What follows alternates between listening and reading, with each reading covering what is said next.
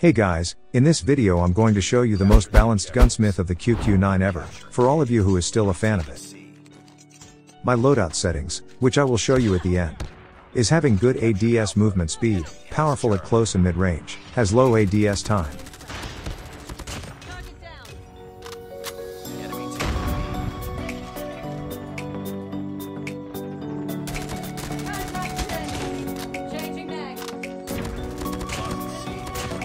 This match was played in Grandmaster 5 to test the weapon against the real enemies.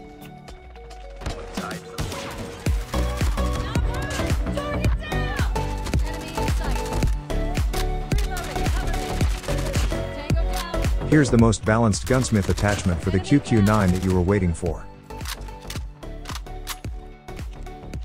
Comment down your favorite gunsmith. And see you on the next one.